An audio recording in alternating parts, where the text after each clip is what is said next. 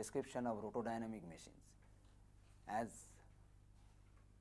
I have told earlier, the rotodynamic machines are those machines where there is a continuous motion of fluid and a part of the machine known as rotor and because of this continuous relative motions between the fluid and the rotor of the machine, it is possible for an energy transfer to take place between the fluid and the rotor. So, therefore, the basic principle of this machine is based on the fluid dynamic principle, fluid dynamic principles, which is basically the utilization of useful work due to the force exerted by a fluid striking on a series of curved vane which is mounted on the periphery of a disc that is rotating the periphery of a disc that is attached to a rotating shaft. So, therefore, to understand the basic principle of a rotodynamic machines, we should understand clearly the force interaction and the energy transfer that takes place while a stream of fluid passes through a curved vane. So, this is a little recapitulation of what you have already studied at your basic fluid mechanics course that we study here the interaction of force and energy in the flow of fluid along a curved vane. Now, see here this is a curved vane which is moving with a velocity u and a jet of fluid is striking the vane with a velocity v1 is the velocity absolute velocity with which the fluid strikes the vane.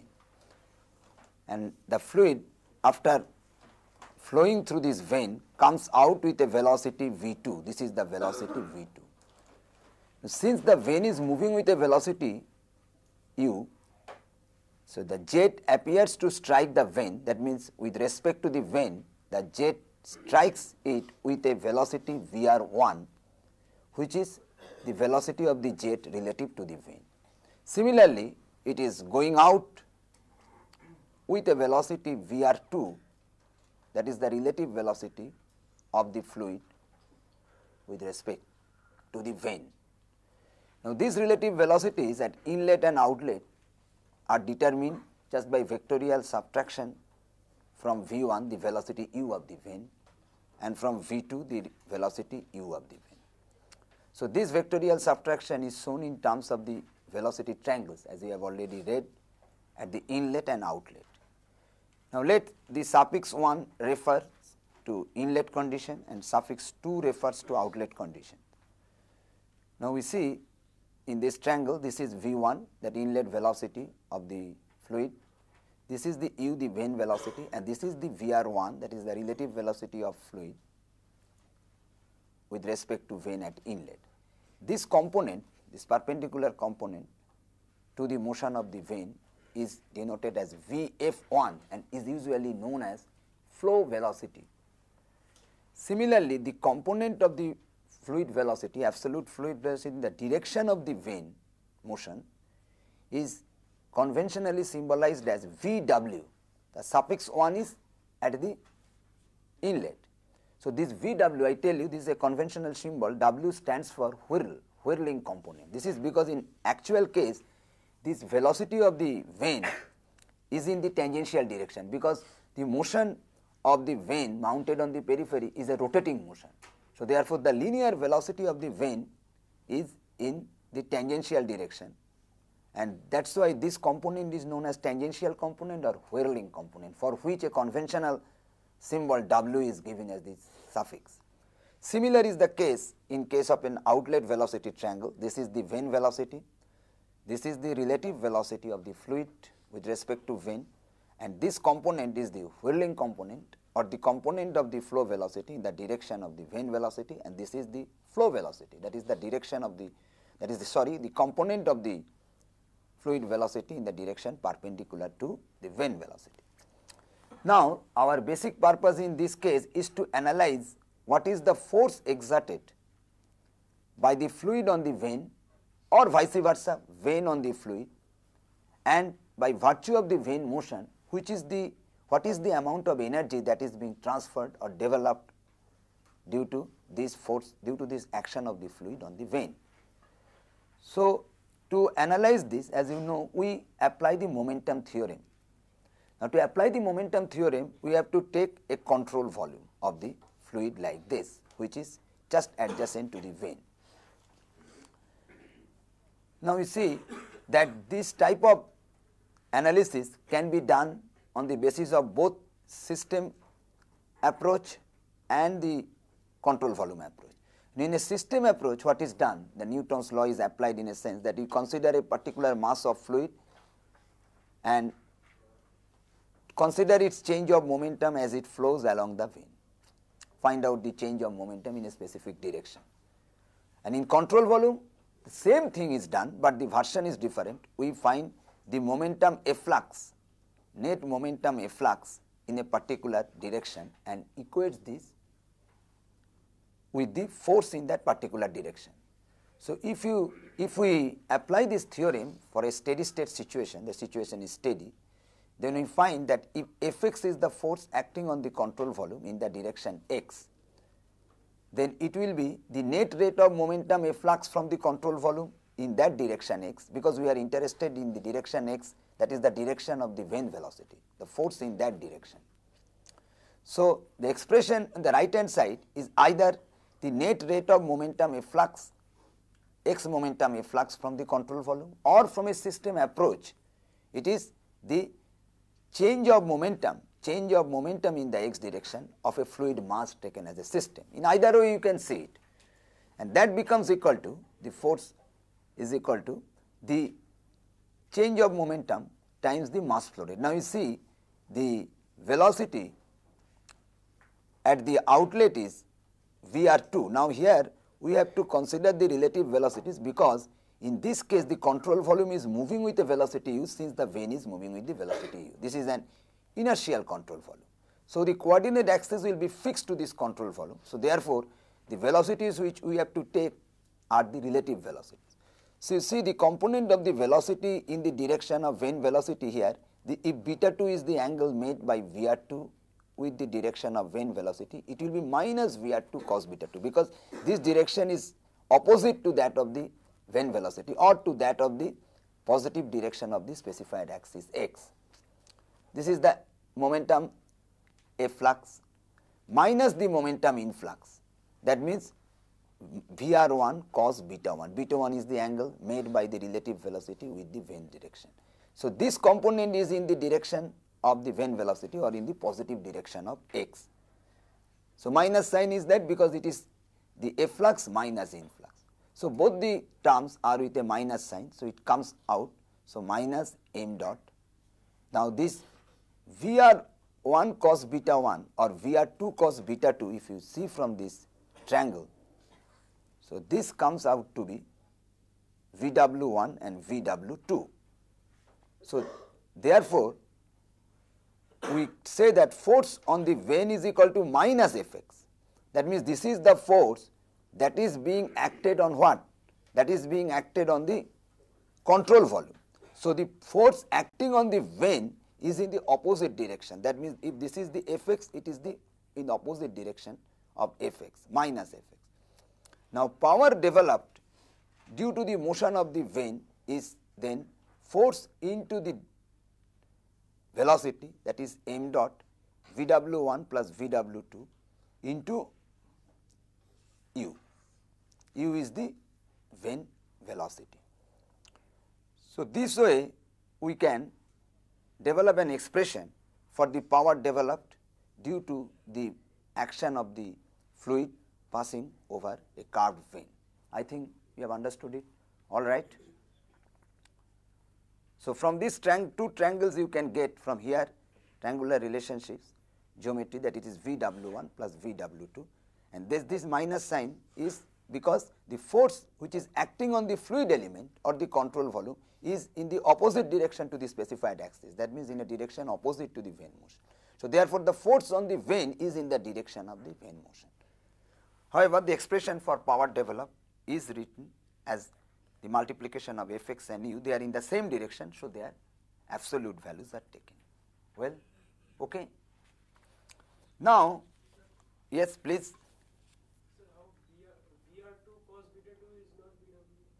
VR2 cos beta 2 is not VW2 plus U and here it is VW1 minus U that cancels out actually. So ultimately you get VW1 plus VW2. Yes, correct. VR2 cos beta 2 is not VW2, it is VW2 plus U. On the other hand, VR1 cos beta 1 is also not VW1, it is VW1 minus U. If you substitute that, automatically it cancels out and becomes, because I felt that you have already done it at your basic fluid mechanics course. So, this thing you know. Well, okay. Very good. I am happy that you are asking questions. Now, we come to the basic equation of energy transfer in rotodynamic machines. Now, in a rotodynamic machines, what happens is that the rotor of the machine is a rotating wheel on which the vanes are mounted and the wheel is mounted on a shaft where the rotation is imparted. So, in this case the same principle is applied here and we analyze this in the similar fashion with the help of a diagram here which is the general representation of a rotor or the representation of a rotor of a generalized fluid machines. Now, components of flow velocity in a generalized fluid machines. Here, in a most general sense, we consider the rotor where the fluid enters at a velocity v1 at any point whose radius of rotation from the axis is r1. Now, before that, I like to mention you that there are few assumptions for this analysis. One assumption is that the flow is steady so, there is no mass accumulation, no mass depletion anywhere in the system. And number two assumption is that flow is uniform over any cross section normal to the flow velocity, which is very important and that means that the velocity vector at a point is representative of the flow over a finite area.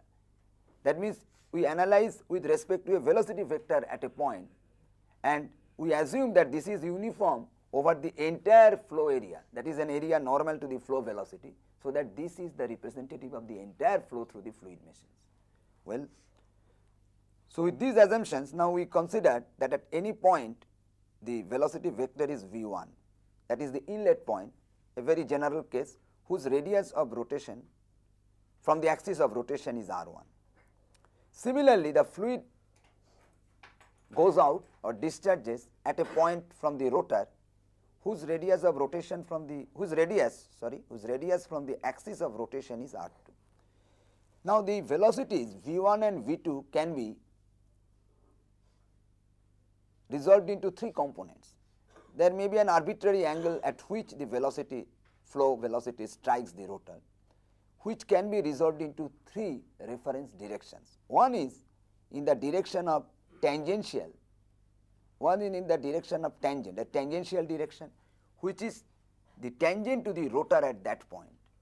Another is the direction which is the axial direction that means it is parallel to the axis of the shaft and another is the radial direction which is perpendicular to the axial direction. So, these three mutually perpendicular directions the velocities are resolved. One is the tangential direction, another is the axial direction, another is the radial direction. So, these three perpendicular directions and accordingly symbolized as VW, one is the suffix at inlet that is the tangential component, whirling component that is why the suffix W is used. The suffix A, VA is the axial component that is component parallel to the axis of the rotation. And as I have told earlier the symbol F is used VF one for the inlet that is the flow velocity that is in the radial direction.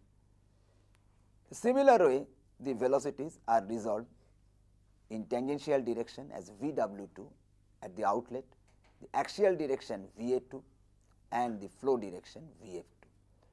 Now, the rotor is moving with an angular velocity omega, which is a constant angular velocity. This is a steady state problem. Well, now let us apply the momentum theorem or the Newton's laws of motions either with respect to a system or a control volume here. Now, here the momentum which will be considered is the angular momentum. This is because here the work transfer takes place due to the rotation of the shaft. So, we will be considering the angular momentum or moment of the momentum. It is very simple. If we consider a system approach, our version will be that considering a fluid mass as it passes from the inlet to outlet, what is its change in angular momentum. Or if we consider a control volume of a fluid, then what will be the net rate of efflux of the angular momentum from the control volume. Now, here one thing is very important, we are not bothered about the path in the rotor. It is only the inlet and outlet that decides the change because if the inlet and outlet conditions are fixed, kinematic conditions are fixed and the mass flow rate is steady. So, the change in momentum or the moment of the momentum whatever you say depends upon the inlet and outlet conditions.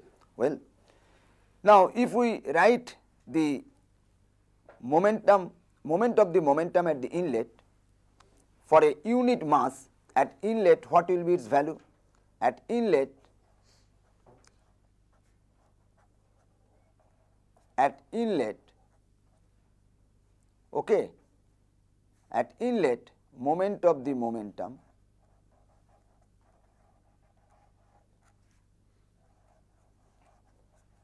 moment of the momentum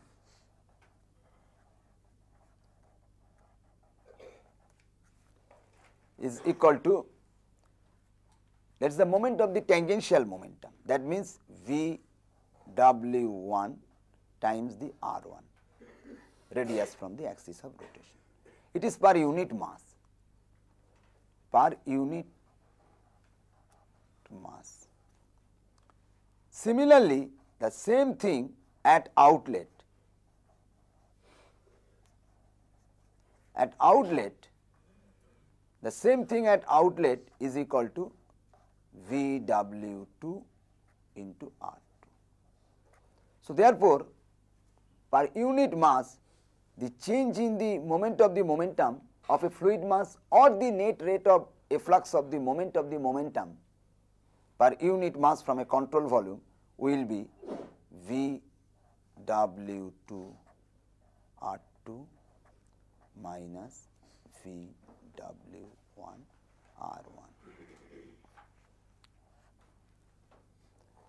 And that multiplied by the mass flow rates, that means this will be the net rate of angular momentum efflux or the rate of change of angular momentum rate of angular momentum, net rate of angular momentum efflux when we refer it to a control volume that is a control volume approach, control volume of the fluid or it is the net rate of change of angular momentum for a system as it passes from inlet to outlet.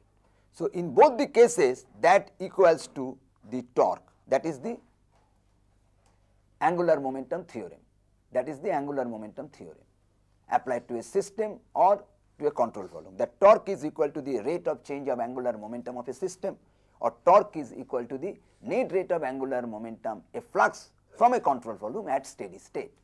So, that is equal to the torque that is being imparted on the fluid by the rotating disc. Now, the energy rate of energy that is being imparted to the fluid will be nothing but this torque into the angular velocity omega and that if we multiply the angular velocity and recognize that omega r1 is the velocity of the linear velocity the tangential velocity of the rotor at inlet and omega r2 is the linear or tangential velocity of the rotor at outlet and denoting them by the symbol u we can write vw2 u2 minus VW1 U1. So, therefore, we see that energy transfer per unit time, the rate of energy transfer in the fluid as it passes from inlet to outlet becomes equal to the mass flow rate m dot flowing times VW2 U2 minus VW1 U1, where U2 and U1 are the tangential velocity that is the linear velocity of the rotor at the outlet point and u1 is that at the inlet point. Because in a generalized case, we have to consider that inlet and outlet are not in the same radius from the axis of rotation. There is not at the same radial plane. So, this is the general equation. And here in this equation we see that this is the energy, rate of energy fluid. Now, if we write the rate of energy as E dot, then we can write this is just the negative of that m dot into VW1 U1 minus VW2 U2 where we tell that here E dot is the rate of energy that is being supplied to the rotor by the fluid. Conventionally, we take the positive sign of this energy transfer when it is being transferred by the fluid to the rotor or the machine. So, therefore, we always express in this fashion. This can be expressed as per unit mass basis that means the energy transfer per unit mass E dot by m dot is equal to V W1 U1 minus V W2 U2. As you know in fluid flow, we define a term head. What is head? What is the definition of head? Sometimes we call that is a pressure head, is a velocity head, potential head, total head. What is the definition of head? Height. Height. Yes, energy can be expressed in terms of the height, height of the fluid column because head is expressed in terms of the linear dimension. But what is the definition? It implies the concept of energy. What is that? The height of a fluid implies the concept of pressure. Sometimes the concept of energy it implies the concept of energy also. It is the energy per unit weight. For a fluid flow, it is the energy per unit weight. If you see the dimensions, you will see the dimension of energy per unit weight is the height. For example, the height of a liquid column exerts the pressure at the base. And at the same time, it has, due to that pressure, has a pressure energy. And pressure energy per unit weight is that height. Okay, so therefore, it is the energy per unit weight is the height. So therefore, we express it as the energy per unit weight. That means with a G and the expression comes like this G V W1 U1 minus V. So, therefore, these three equations they are dependent equations any one of them is called as Euler's equation these are known as Euler's equations according to the name of the scientist this is known as Euler's equation. This should not be confused with the Euler's equation of motion. This is the Euler's equation for fluid machines. This is comes from the equation of motion, but another Euler's equation you have already read in your fluid mechanics class that is the equation of motion for an inviscid fluid. Is a generalized equation of motion for flow of an inviscid fluid. But this Euler's equation is the equation for the energy transfer between the fluid and the rotodynamic machines.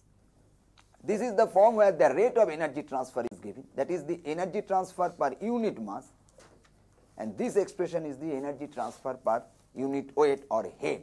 Sometimes we call it as head. Here you can write head H that is the head transfer.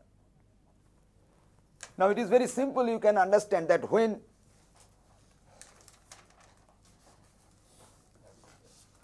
when VW1 U1 is greater than VW2 U2, this quantity is more than this, this E dot is positive, H is positive.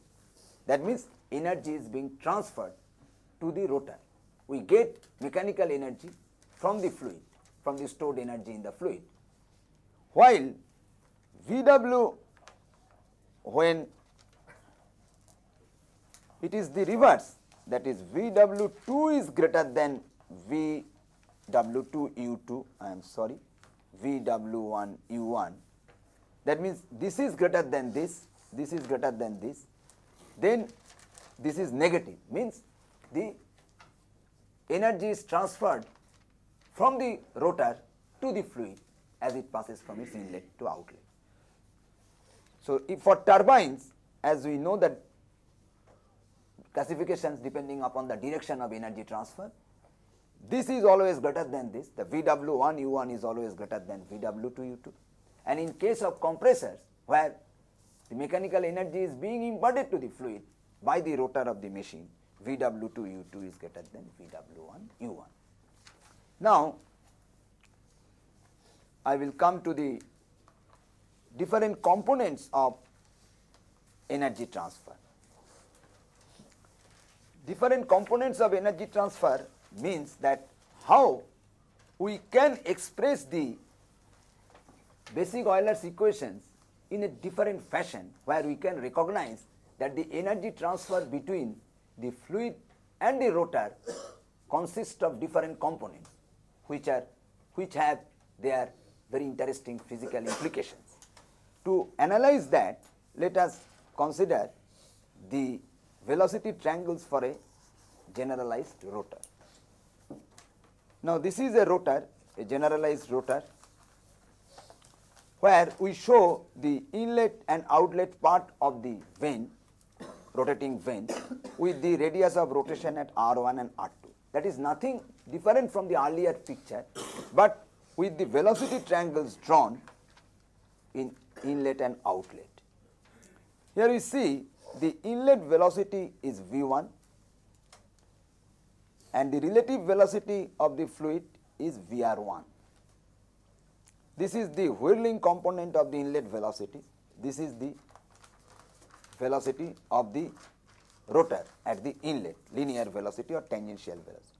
Now, in this context, I like to tell you that probably you know that the relative velocity should be such that it should approach the vane without shock. That for a shock and smooth approach of the fluid to the vane, so that fluid can glide along the vane, the relative velocity should make an angle with the direction of the vane motion which is same as the angle of the vane at its inlet. So, therefore, the vane angle at the inlet is same as the angle of the relative velocity beta 1. So, therefore, we will consider henceforth the angle of the relative velocity with any direction for example, here in the direction of the vane velocity is equal to the vane angle at that point. Similarly, here you see the outlet velocity triangle is shown where V2 is the velocity of discharge of the fluid and VR2 is the relative velocity of the fluid at discharge whose angle is beta 2 with the tangential direction. That is the same angle the vane makes at the outlet with the tangential direction. That is the outlet vane angle. So, this beta 1 is the inlet vane angle. Now, this u2 is the tangential velocity or the linear velocity that is in the tangential direction of the vane at the outlet. Now, alpha 1 is the angle with the angle which the velocity v1 at the inlet makes. Similarly, alpha 2 is the angle which the velocity v2 at the outlet makes with the tangential direction. Now, these velocity triangles gives the picture of the relative velocities and the absolute velocities at the inlet and outlet of a generalized rotor. The Vf2 and Vf1 are the flow velocities at the outlet and inlet. Now, if we apply certain trigonometric formula for the triangles, we see if at the inlet triangle we can write, I think you can see that VR1 square is equal to V1 square plus U1 square minus twice U1 V1 cos alpha 1 or equal to we can write V1 square plus U1 square. Now, V1 cos alpha 1 is the whirling component or tangential component of the velocity at the inlet U1 VW1. Okay, can follow. Similarly, from the outlet triangle, we can develop the same relationship VR2 square is equal to V2 square that means V2 square plus U2 square plus u2 square sorry this 2 will be big minus twice u2 v2 cos alpha 2 or we can write v2 square plus u2 square minus twice u2 vw2. Well, from the two velocity triangles, all right. Okay. Now, from here, therefore, we can write that not from here, sorry, this is from this step, not from this step. From this step, we can write that VW1 U1 is equal to half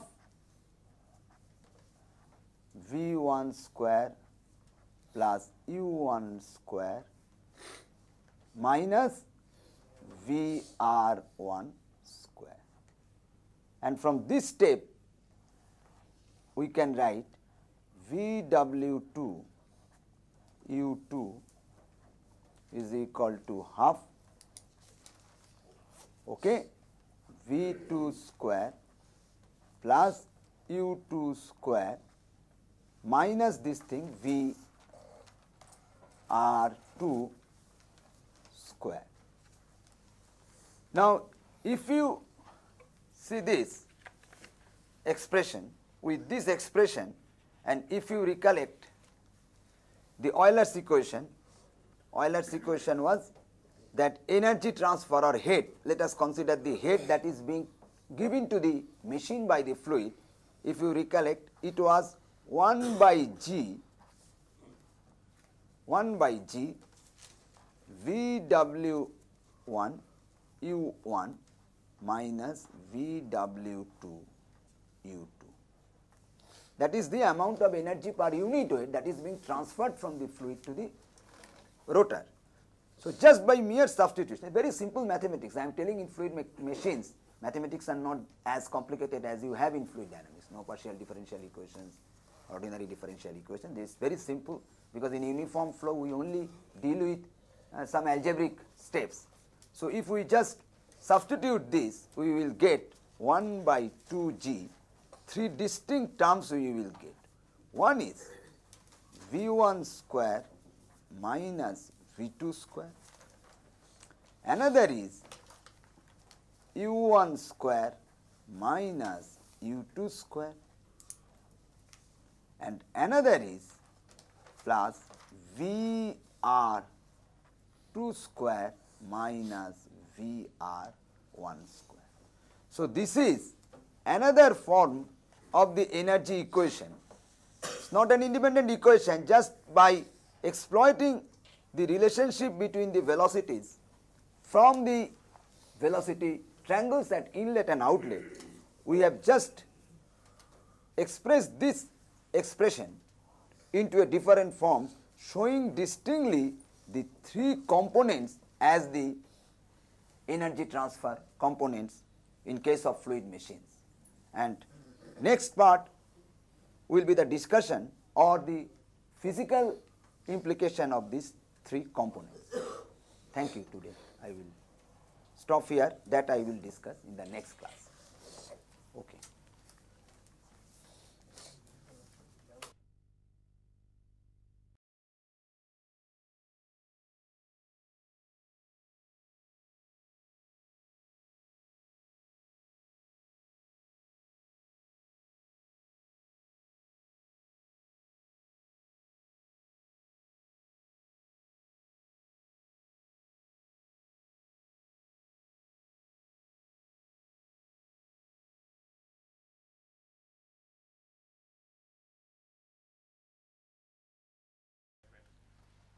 Good morning, uh, welcome you to this session.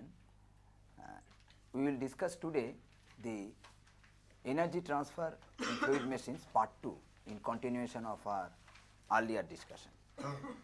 now, last in last discussion we have recognized that the energy transferred to the rotor of the machine by the fluid in terms of the energy per unit weight which is known as head can be expressed as just let me write 1 by 2 g v 1 square minus v 2 square plus u 1 square minus u 2 square plus v r 2 square minus v r 1 square. So, in last last session we have recognized that the energy per unit weight that is the head transferred to the fluid rotor can be splitted up into three distinct components where the nomenclatures are like this we can have a recapitulation that where V1, V2, U1, U2, VR2, VR1 are like this that V1 and V2 are the absolute velocities of the fluid at inlet and outlet of the rotor. U1 and U2 are the tangential velocities of the rotor at inlet and outlet. These are the rotor velocities, whirling velocities of the rotor at inlet and outlet and VR1 and VR2 are respectively the relative velocity of the fluid with respect to the rotor at inlet and outlet. So, if V1, V2, U1, U2, VR2, VR1 are defined like this, we can express the head that is transferred to the machine by the fluid as it flows through the rotor vanes can be written like this. Now, we see that these three terms have got their different physical implications. Now, let us see first what is the term V1 minus V2 square. This implies a change in the velocity head of the fluid or a change in the kinetic head, kinetic energy per unit weight of the fluid. Or simply it can be told as dynamic head, dynamic head. You can write a change in dynamic head, change in, change in dynamic head, this, this one, change in dynamic head. So, therefore, due to the change in the dynamic head of the fluid, that means due to the change in its absolute velocity as it flows past the vanes, the work is being transferred or energy is being transferred to the machine. Similarly, this term represents a change in the head due to the change in its position, radial position with respect to the axis of rotation. When a fluid has got a rotational velocity and it changes its radial position with respect to the axis of rotation, there occurs a change in the head or energy in the fluid. Now, this term can be better understood if we see this one. Let us consider a container where the fluid is flowing in this direction and container is given an angular rotation omega like this. So, basic objective is to show that when a fluid element under a rotational velocity changes its position in radial coordinates with respect to the axis of rotation. Let this is the axis of rotation at this point perpendicular to this plane of the figure about which the container is rotating then we can show that the work is either being done on the fluid element or work is being extracted from the fluid element. How we can show? Now, let us consider a fluid element at a radius r of thickness dr and area dA.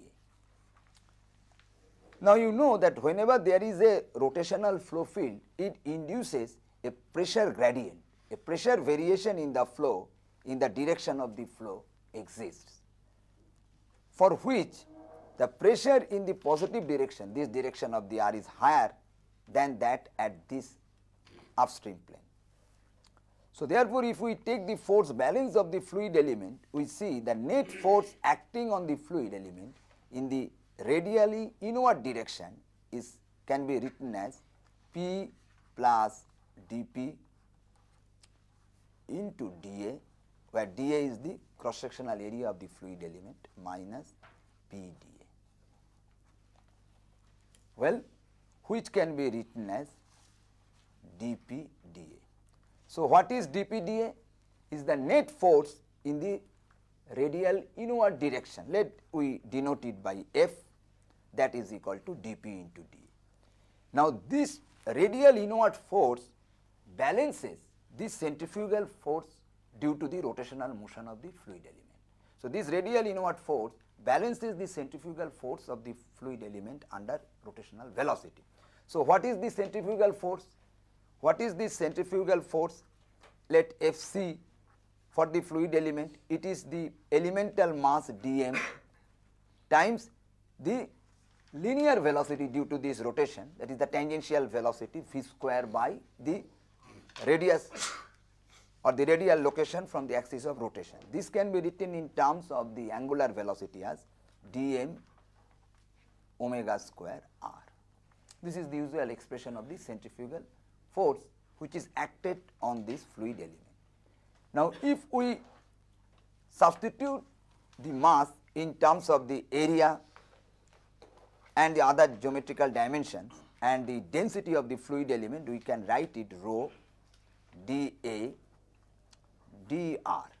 So, rho dA dr is the mass of the fluid element. So, this is the angular velocity square into r. Now, at equilibrium these two are equal that means the fluid motion is possible in this direction provided there is a balance between the centrifugal force and the inward radial pressure force. So, if we write this we get the expression dP into dA is equal to rho dA dr omega square into r. So, dA cancels out. Well, we can write then dP dr is equal to rho omega square r. This equation is a very well known equation in the fluid flow with rotational velocity and is known as radial equilibrium equation. This is known as radial equilibrium equation. I can write it that radial radial equilibrium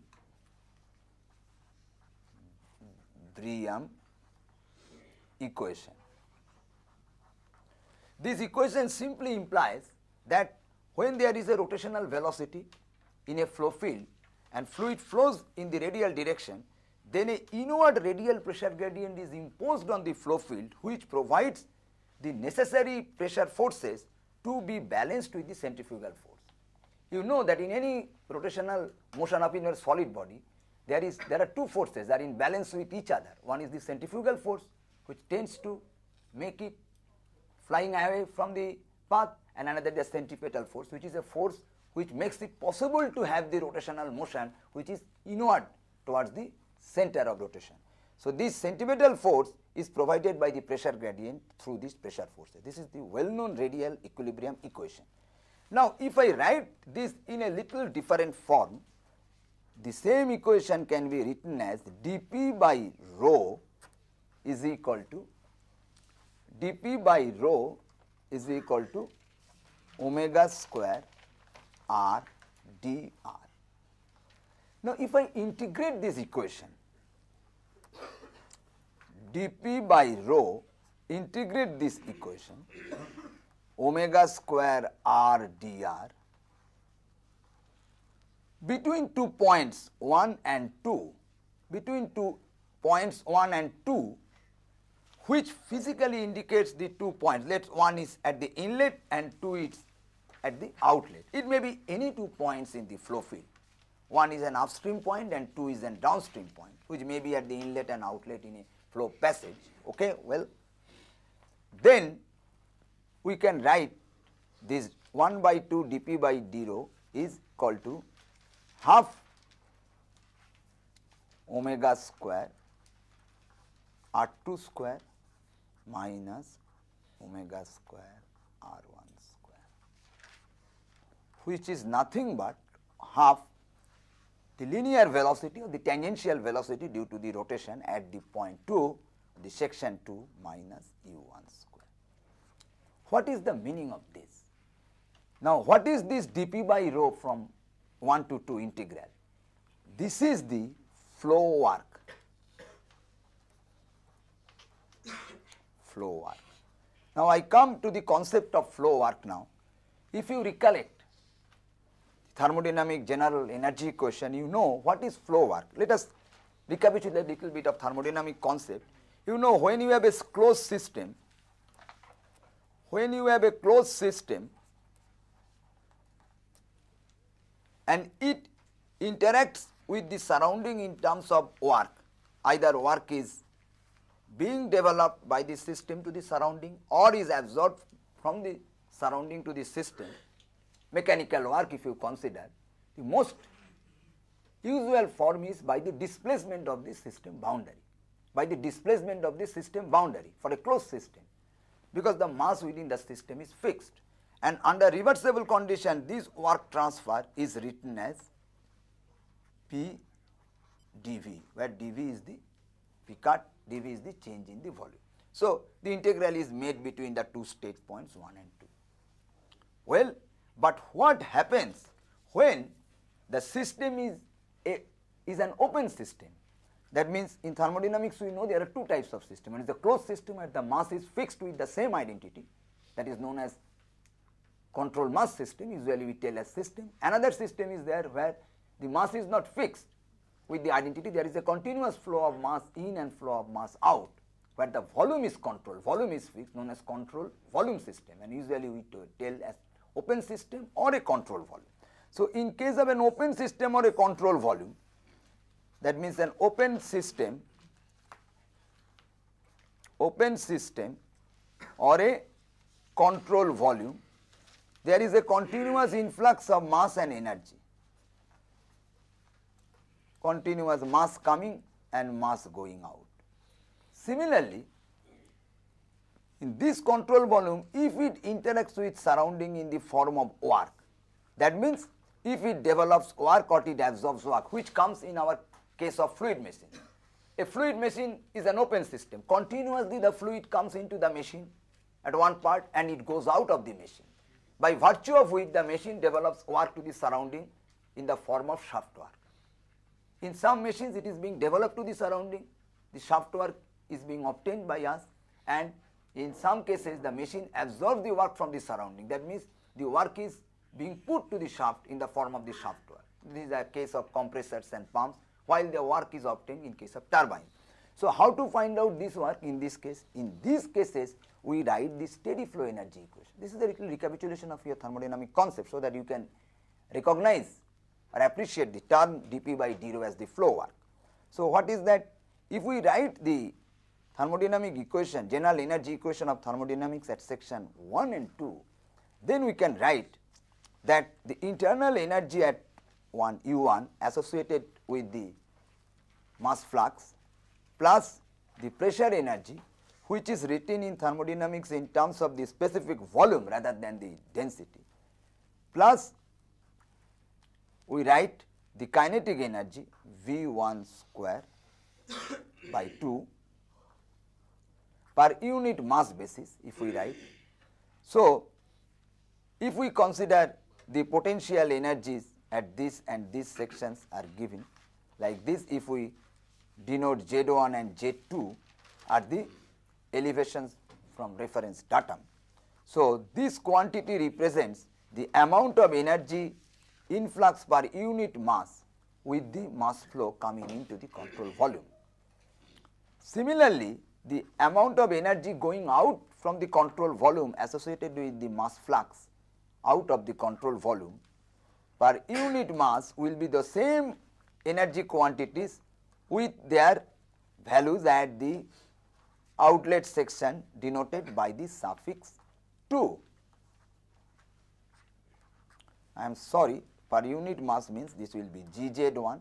So, this will be GZ2.